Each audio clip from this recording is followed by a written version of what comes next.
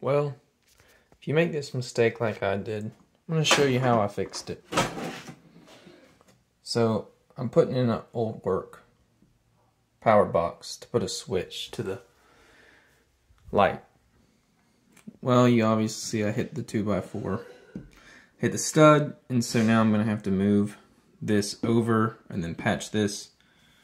And I accidentally already did it on a different wall too, so I'm going to share what I did all I did was I took the old, the original piece that I cut out, and I essentially just moved it over to the point to where, you know, I saw the wood, and I drew a line, you know, basically show the extra width that I need to cut.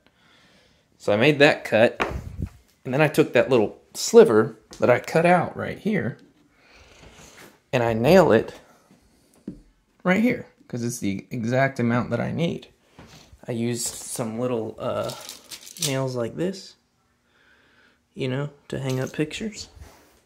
And then I'll show you how it looks because I already did this one.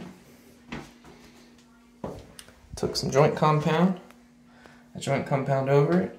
I'm going to give it a sand, another coat, give it a sand, and it'll look just like the wall. It's a great fix. A little sliver, nailed it, good to go.